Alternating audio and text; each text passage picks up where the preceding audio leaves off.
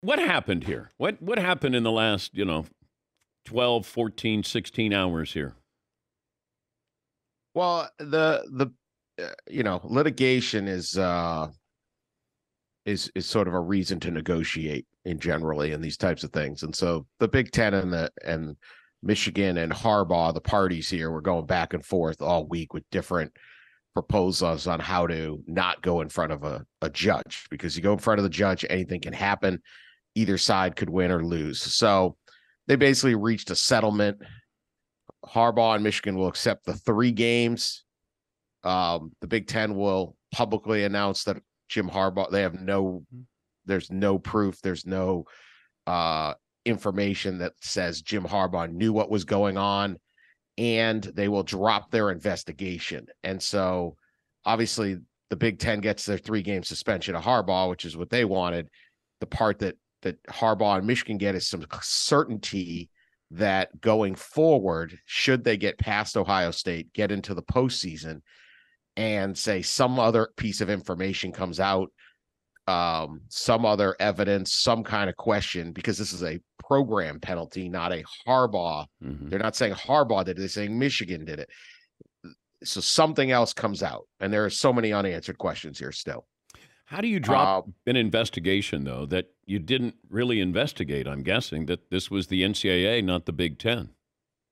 The term, I, I agree. They're basically saying they will not suspend, they will not take further action. Is is is sort of the the way it would go. So let's say, um, they find out i don't know there's more games involved or someone else might have known or like we find out it's just some different things it's not a major major thing but you don't have that uncertainty that the big 10 might add a fourth game to it so this was the deal they're not going to court um this is not a major legal drama this was not a few good men uh, this was not Harbaugh's exciting Judge Judy.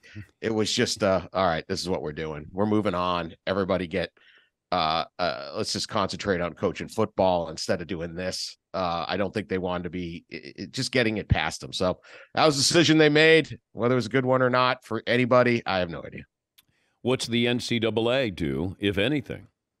They continue to investigate. So they're investigating, and um, there you know the investigation could likely t- extend past the season uh, or it, it's certainly going to keep uh, certainly the regular season they still want to interview people there's a lot going on. And then when they have their they have a process they find out what they are going to allege they give a notice of allegations to michigan Michigan then has 90 days to respond to that. And then there's like a 45 day re response. And then you move on to do you negotiate there or do you take it to the full? There's a long process, man. The NCAA loves rules, processes, processes about rules, rules about process.